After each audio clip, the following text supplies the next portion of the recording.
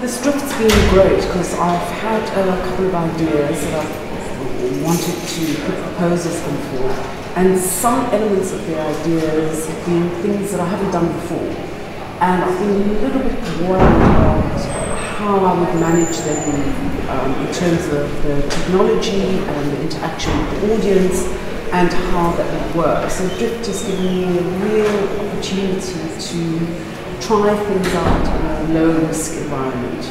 Um, and that's just been fantastic. But the other thing is being able to have access to other artists who are also doing amazing things and just having bodies to work with, having tech to work with, having time to try things out. It just feels like such a luxury. Um, and it's absolutely fantastic. It's wonderfully organized there's lots of really healthy creative facilitation, lots of ideas coming in.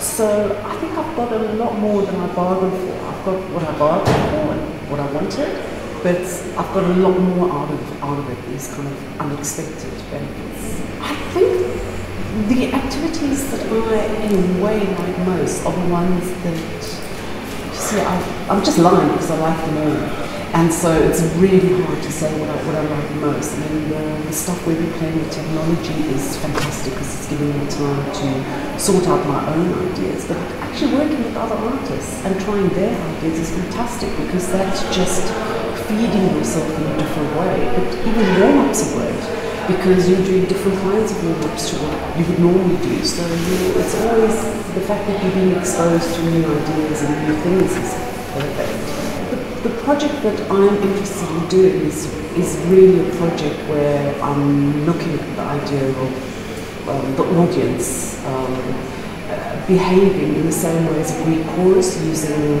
digital media.